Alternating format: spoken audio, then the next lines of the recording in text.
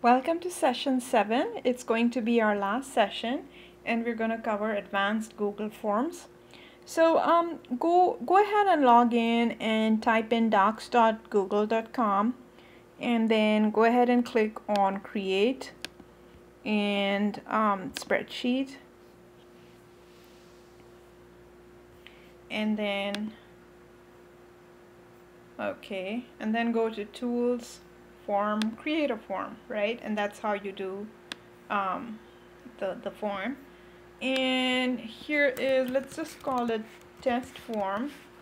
Explanation goes here. And let's uh, make this real simple.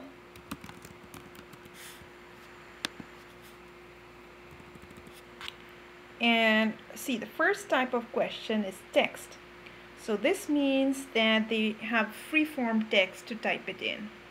So let's make this a required question and say done. Now here's um, sample question 2 already. So let's click on edit. And here we'll say what vegetable do you do you like and why? I know these questions don't make much sense, but we're just doing it to see how this works.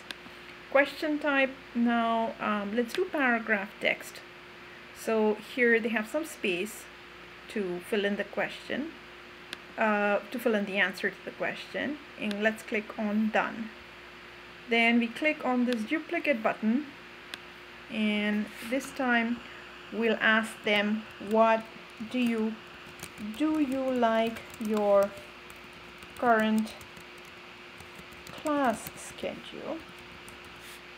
Schedule. And again we have some explanation. And let's see the next one is multiple choice right? And you remember that this is either a, a yes or a no but you can't choose yes and no together. Um, so you can have let's have yes. And let's click no here and note this nifty little option go to page based on answers. This can actually if you click that it, it can connect. So um, we're not really doing that here but um, you can see that this is you can have a whole bunch of questions depending on whether the person said yes or no. Um, so yeah we won't um, do that um, for right now. Um, let's in fact actually um, delete uh, change this to paragraph text and back to multiple choice again. So we have no and yes. Okay and then that's it and we click on done. And duplicate again and here we'll, we'll go ahead and type in this question in a second we want checkboxes. So remember, we use checkboxes if we want more than one, if we want the um, respondent to choose more than one answer. So let's choose that.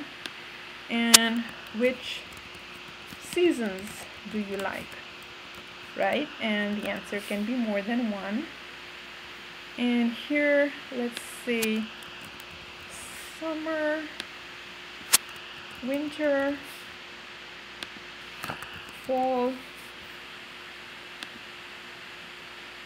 and let's put even an other um, where they can put something in. Um, and then let's go ahead and click on done. Okay and then we're gonna add one more question so we click here. Now let's look at the other option choose from a list. So I'm gonna leave that just as it is and they're gonna choose from that. Um, click on done.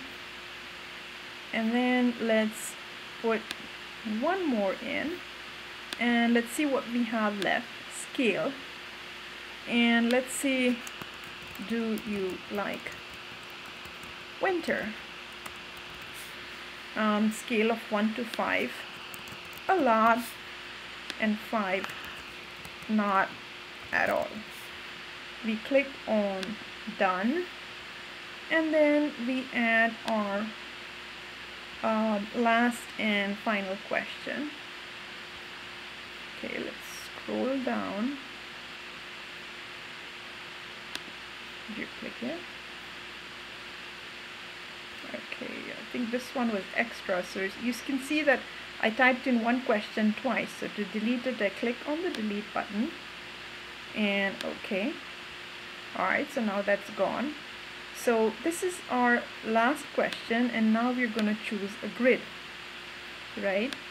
And let's have um, a question, um, which month do you like?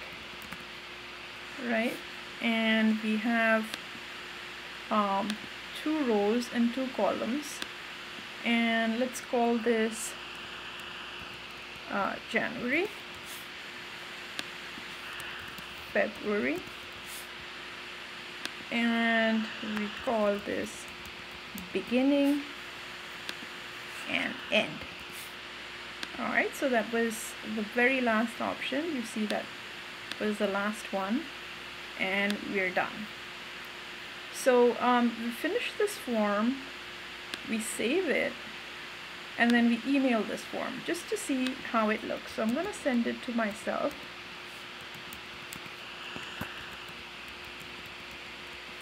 and include form in the email and send. Alright, so that's done. Let's see what the published form looks like. So what fruit do you like? The respondent can type in something. What vegetable do you like? And you know, they can write a whole essay about that. Um, they can answer yes or no on the current class schedule. Uh, which seasons? They can pick multiple ones. Do you like? And then again, they can pick so you see it's the same question, but there's a drop down box and they can pick one. Um, do you like winter? not at all which month do you like well I like um, beginning January and in February right and then I click submit.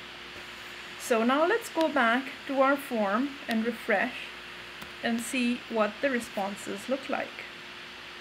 As I told you it's live so the responses should come in right away. And here you can see all the responses came in for the different kinds of questions. Okay, so um, so in this session, um, we went over the different kinds of questions that you can have. It can be multiple choice. Um, you can write text. You can write um, free form text. Um, that's multiple choice. You can have check boxes. You can have little drop down boxes like that. You can have a scale of 1 to 5 and you can have a grid which is like that and we also saw that once you fill that in you get live responses in your spreadsheet so that was our last session on advanced Google Forms and the different kinds of questions you had I hope you enjoyed this session series on Google Forms and hope you will be using Google Forms again soon. Um, remember that you do need to use it regularly to get the benefit out of it. And there may be a few kinks, but after you use it a couple of times, it'll sort itself out. Thank you and have a good day.